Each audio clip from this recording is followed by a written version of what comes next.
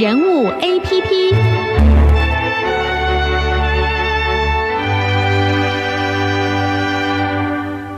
您现在所收听的是中央广播电台台湾之音所直播的台湾 A P P 节目，我是主持人曾国华。现在所进行的单元是人物 A P P 啊。那今天开始，我们会将跟这个 TEDx 台北合作，在每周五推出 TEDx Youth 系列人物的访谈。而今天第一集啊，我们要和各位听众啊聊一聊什么是美感。不知道呢，听众朋友还记得你小学使用的课本哦，教科书的模样是什么？里面有没有让你印象深刻的插图呢？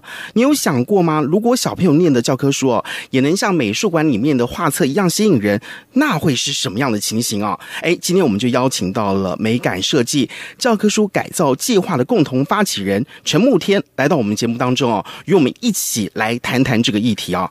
慕天你好，哎，主持人大家好，是这个慕天是交大机械系对不对？对对对，我念机械系，高材生。好，一般认为呢，理呃理工科的学生呐、应该不太会懂得美感呢。好，我直接问哈，美感很重要吗？你为什么会有这种感受？呃，我真的觉得蛮重要的。但是在我之前的，就是在念书的时候，可能不会有这种感，呃，这这么强烈的感觉。是我之前有一次参加一个基金会，时代基金会，是那他把我们，因为那是一个比赛，然后他就会付所有的机票钱，所有的，反正就是全部都帮你包了，哦送你出去国外做参访。是那那时候我赢了这个比赛，然后他们把我们送到丹麦跟英国做设计产业的参访。哦，设计之都嘛，哈。对啊、o k 好。他们家具什么设计都很厉害。然后那时候去的呃当下，就是那那那个那是个半个月的行程。是那半个月看了很多设计相关的东西，然后你突然发现，其实，呃，不管是任何东西的商品什么的，它它设计才是它真正的品牌价值或它的附加价值。那因为刚好自己是念交大的，所以交大很多学长他们都做了非常多很功能性很强的产品，对啊，所以你就觉得，哎，这些很强的产品，现在我们在谈品牌，如果它在设计上面可以更强化，那台湾是不是在这个产业上面会有更高的一个一个成就？对啊，所以那时候就回台湾就是开始在思考这件事，就是我们到底能够为台湾的设计或是美感上能做些什么？尽管自己不是念设计，也不是念教育的，是好，你刚刚讲教育哈，这个就是我另外一个起头的线头哈。哎，是其实要谈你哦，要从两个方面来谈，一个是美感，一个是教育哈。你回来嘛，有强调嘛哈，要从这个教育开始着手。哎，我们台湾这个是强调五育嘛哈，嗯德智体群美啊，美是最后一个，哦排名最后啊哈。虽然我们一直在强调五育并重了哈，但是美还是排在最后一个啊。可以看得出传统教育对美育啊，并没有这么重视哈。哎，不过呢，一定要想一下，为什么你强调这个美育的重要性，而且要从教科书开始着手？其实呃，我觉得台湾真的很多人在在。就是前辈他们在做这件事，那他们做的通常常见就是办一些展览，然后做美术馆啊。其实我们台湾蛮多间美术馆的，可是我呃后来开始呃跟台湾的学生聊天，然后问，包括我们自己朋友生活周遭的经验，其实一个小孩子一年真的有时间去美术馆的，真的不多，可能一年去一次，多的话大概呃。大多数状况是两三年去一次。那我们又问了欧洲那些朋友啊，问他说：“哎、你们为什么？尽管是理工科系，他们穿衣服，他们会练跳舞，他们的艺术造诣都很高。问他你是不是有学校是不是有特别教育？国家是怎么做的？他们说没有啊，因为就在这个环境里，我一出生看到就这样的建筑物，大家穿的衣服就这样，看到广告就是这么高水准。所以我们在想说啊，那是不是我们的方向还可以再多一个，就是更普及化，然后耳濡目染，用生活周遭的去感染。呃，例如说，你可能去一趟美术馆，那种感觉是很强烈，但是它只有一点点时间。对，但是我们认为像练数学一样，你或是学英文，啊、学英文是更好的比喻。你不可能一天背单词，然后一年都不念，你一定会忘光光。是语言这东西，它的学法就是我每天一点点，每天一点点。嗯所以抓到这个概念之后，我们去看台湾的小孩子在整个成长过程中，影响他最大的，他看到的时间点最长的是什么？就是教科书。哦，对，所以那时候我们想说，或许这是一个好的切入点。嗯哼，不过谈到教育，一定要谈到你自己，对不对？你的你对教育应该感受更特别深刻哦。你会认为台湾的教育缺乏想象力吗？一点对啊，有啊 一点为什么？欲言又止。OK，为什么？你你你自己的成长背景有这样的经验吗？呃，对啊，因为我我小时候就属于那种就是很很皮，然后很有想象力的学生吧。哎，自己讲自己有想象力好像有点害羞。对，反正就是学校它它他并不会把这个看重，因为大部分还是考试居多嘛。包括现在他们想推，呃，我看国家很想推那个十二年国教，或是那种多元化升学的方案，很多家长他还是没办法去接受。所以我觉得在根本上，就台湾整个这样结构，不管是大家的想法，或是一些呃意识形态，这个确实啊，不只是学校啦，就包括家长，就是很多很多的问题，导致很多学生他其实有想做的事情，或者他有很多想象空间，但是没有机会去发挥跟学习。慕天为什么会成为现在的慕天啊？其实是有一段这个经历的嘛，对不对哈？那个其实你不要看他那个学历啊，这个刚刚有谈谈到，就是说他是交大机械系哦，感觉是高材生哦，然后建中哦，那这更是应该很多。家长心目中的第一志愿哈，但是呢，他在之前啊是老师眼中的问题学生哦，是不是？呃，算了，算是呃对不对不断的制造问题，对。好，那为什么会有一些改变，让你可以这个上建中呢？是你原来功课就很好吗？我功课没有到最好啦，是对，说实话，上阶中也是运气运气。那时候我们、是猜题猜中，对啊对啊，因为那时候很难呢、那时候那时候好像错超过四题就上不去了，是，嗯那很夸张。那个因为我忘记我忘记叫量尺吗还是什么，那扣分方式很奇怪，所以真的还是真的运气还是要你知道都都要很完美的都都答出来。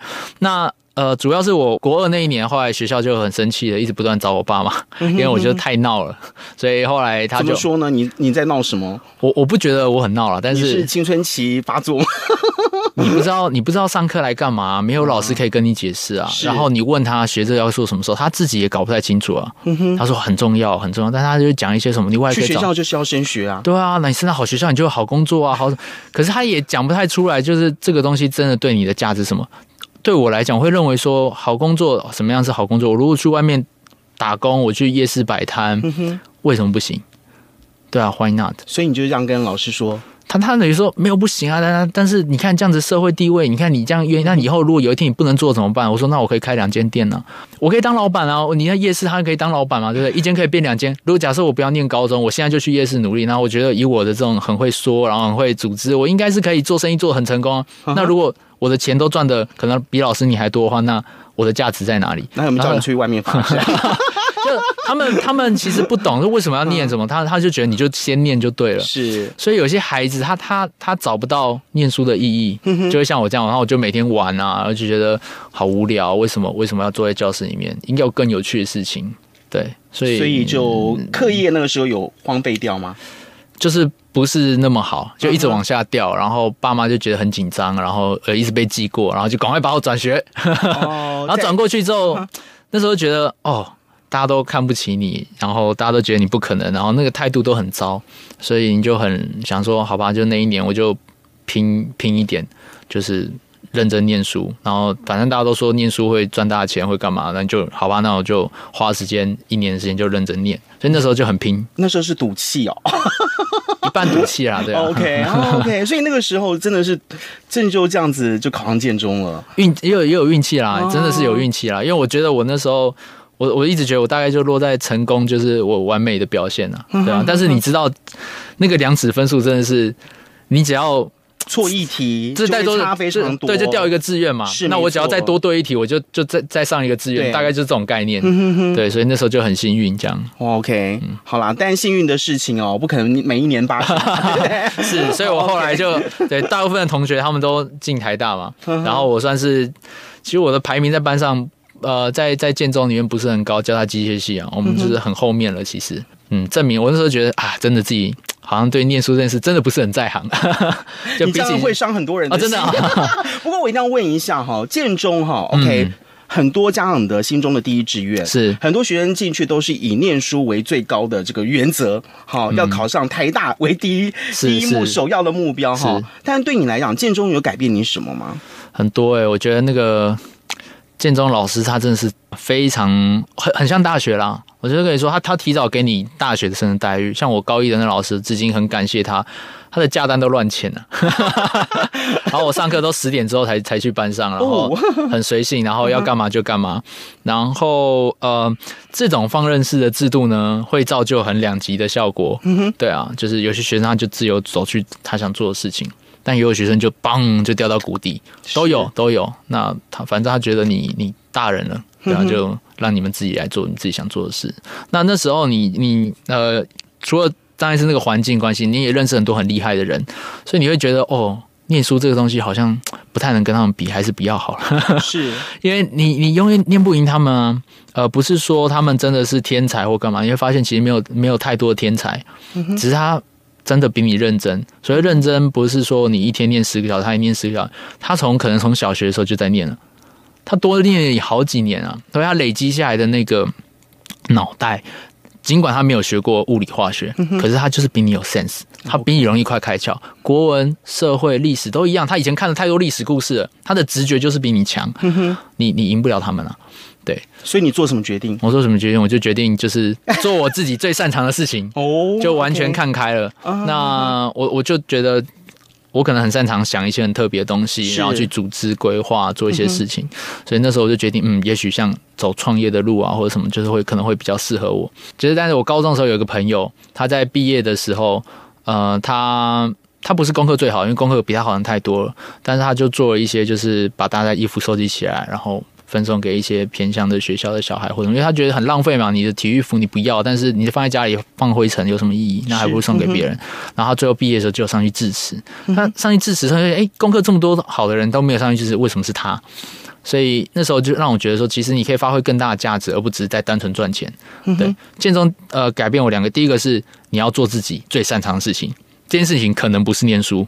对，但是你你要相信自己，只要做这件事情，你就可以找到发展。他不一定要念书，你才可以赚到钱，才可以养养活自己。你可以找到更大价值。然后第二个就是，其实你可以做，其实是比赚钱、念书更有价值的事，对社会产生影响力。所以你找到了第二个方向，对，有点像是这样子。但是升上了大学之后的那个学生会长那段经验，才是真正打开我说，哦，原来我可以做多大的事情。怎么说呢？因为那时候你就开始参与学校事务嘛，然后你可以跟校长开会，你就觉得哦，我们是可以改变学校的。然后间接的，你去看到很多其他学校的学生会长，像台大、政大，他们在做的就是更政策方面，他们可能会想要去影响社会了，已经不是在自己学校内部了。是，所以看到同年龄的人在想这些事情的时候，你就觉得，哎，如果他们可以这样想，那我是不是也可以这样想？所以那时候算是一个格局更大的一个打开。然后一直到后面，包括我像出国的经验啊，然后交换的经验这些东西，然后。才开始觉得说，哎，你像教科书，对，可能人家一开始听到说啊，你你又不念教育，又不念设计，啊，你才二十出头岁，你你你搞什么教育？神经病，先把自己养活。对，可是因为经过前面这这些事情，就很多啦，各种因素掺起来，你就觉得他应该做，然后你也可以试着去做看看。无论如何啊。那个告诉你们是说，慕天他真的做，OK 哈，他做到了哈。那但是呢，做的有没有成果哈？这个后面呢，我们再来讲。不过我一定要问一件事情啊，我们这个焦点先拉回到教科书推动美感计划这件事情啊。万事起头难，你那时候回到台湾之后，嗯，你做了什么样的计划？回到台湾之后，呃，我们想改变影响台湾教科书是。但是我们不知道从何做起，所以一开始是跟很多人简报，长辈简报。可是长辈，我本来想说，哎，我们把这 idea 给别人，别人就可能认真去做了。哎，但当然没有，就是没有人会理你，因为他会觉得很棒啊，或是。不不认同什么，不管怎样，反正总而言之，不会有人去做，只有你自己才会去做，因为这是你想出来的东西。好，那我们要开始来做，可是又没认识设计师，然后也没认识学校，所以那时候有点鸡生蛋，蛋生鸡，不知道该怎么办。后来我们透过一层一层的介绍，说好好不容易一个老师说很有趣，但他不行，然后换下一个老师，他介绍他朋友到到一个新竹香山的大湖国小，那个国小很蛮开放的，他们很愿意尝试。对，所以那个那个学校老师就跟我们说，好，那我一个班级，那你要不要来试验看看？我们得到老师的认可之后呢，好开心，因为。有了这样的这样的认可之后，我就可以转回去找设计师说：“哎，你看，我们现在有个计划是跟学校合作，然后在做。”然后他就觉得：“哦，好像是真的计划哦，不是说你你叫……因为如果跟设计师，哎，我们现在设计一本课本，然后怎么样？他就说：哦，我干嘛干嘛干嘛设计一个课本？是。可是我跟他讲说，有个学校的学生在等，愿意这样合作，然后这个计划是跟学校合作，然后我们未来会怎么样？他们就比较相信。所以那时候好不容易凑了凑齐设计师，然后就就就先做了第一本出来，对啊。然后现在呃有了第一本出来之后。我们还没有钱可以印或是干嘛的，所以就赶快把这个东西上网抛上网，然后去募资。V 有一个群众募资的这个平台，然后就很多网友觉得哎不错，然后就赞助我们一些钱，让我们有印刷费。然后有有哦，这很好玩，就是一个一个签一个，有了这个赞助平台的网络上曝光之后，就有一些媒体来报道，然后媒体就会再带媒体，然后每一次的媒体带来之后，就会有一些设计师或学校或者什么，就更愿意来合作投入哈，投入。所以对，就是有点像，就我觉得跟创业可能也有点像，就是到处想办法去凑，然后。继续往前开，那个船都你知道破破的，赶快先就就先开出去了。是，对啊，然后慢慢在路上凑齐这样。所以告诉你啊，就是有这个想法跟这个呃呃梦想的时候，不能只是等，对不对？嗯，对，一定要先走了再讲。对，先开出去了，你会想到办法把它 继续行情下去，这样子。把船先开出去了，哈，再看看哪里有鱼哈。对，然后那个相互的这个渔船会越来越多。没错。要问一下哈，你那个时候资金跟人怎么找到？越来呃要多多少应该是怎么样？水位要到多少？你们那时候才可能可以去印刷呢？那时候我其实不用太多，大概就是个呃四五万第一批，然后我后来募到了二十多，所以我们到现在已经做第三本了。是对，然后就就实验性质也是这样合作，然后不断的改进。对啊，嗯，人呢？人吗？设计师吗？是设计师，就是就是。真就是我们做影片，然后背后说我们需要设计师，然后大家有兴趣加入，对啊，或是像我们在节目上说，哎，有没有听众认识不错的设计师，也可以来找我们。OK，所以很多人都毛遂自荐。对 对，就是很多很热情的人们，就很谢谢他们。哇，那整个过程应该让你都很感动哦。对对，就是挫折、感动、感动、挫折，然后不断往前行，这样。好，那你也讲，你刚刚讲自己讲挫折哦，最大挫折是什么？就是我们。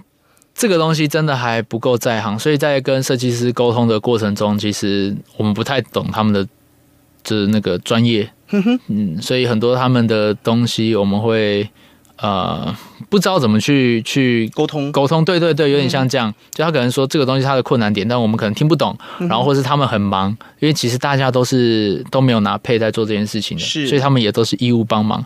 那在这个过程中，其实大家都很辛苦。